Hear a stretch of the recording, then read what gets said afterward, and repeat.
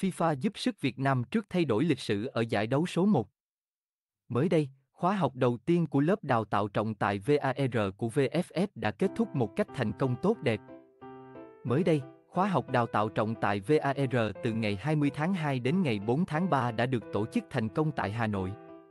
Sau chuỗi ngày học tập tích cực, 18 trọng tài và trợ lý trọng tài V-League đã được làm quen với công nghệ VAR cấp độ 1 trên hệ thống mô phỏng với các tình huống đơn giản. Khóa học có sự xuất hiện của ông Hakan Ana, giảng viên FIFA, hướng dẫn trực tuyến, ông Sebastian Andre, giảng viên kỹ thuật FIFA, cùng các giảng viên ban trọng tài. Theo đó, hướng đến mục tiêu sớm đưa công nghệ VAR áp dụng tại hệ thống các giải bóng đá chuyên nghiệp quốc gia, công tác đào tạo trọng tài VAR là nhiệm vụ quan trọng.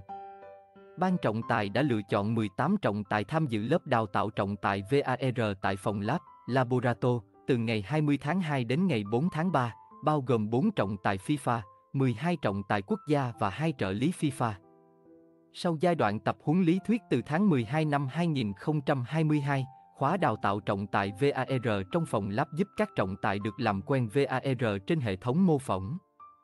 Đây được xem là bước đào tạo cơ bản đầu tiên dành cho các trọng tài.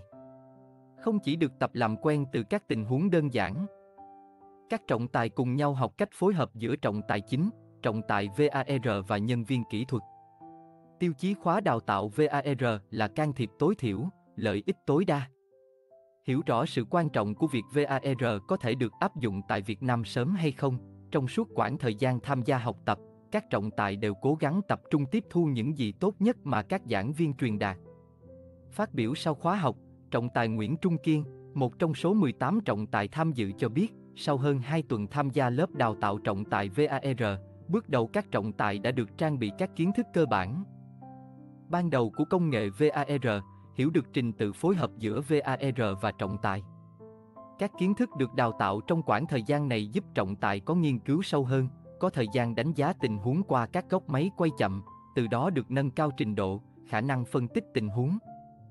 Trong khi đó, trưởng ban trọng tài VFF là ông Đặng Thanh Hạ cho biết các trọng tài tham dự đã hoàn thành khóa học đợt 1 và làm tốt theo yêu cầu của FIFA. Cảm ơn các bạn đã theo dõi tin tức bóng đá 24 giờ New. Đừng quên đăng ký kênh và bấm chuông để nhận thông tin mới nhất nhé các bạn.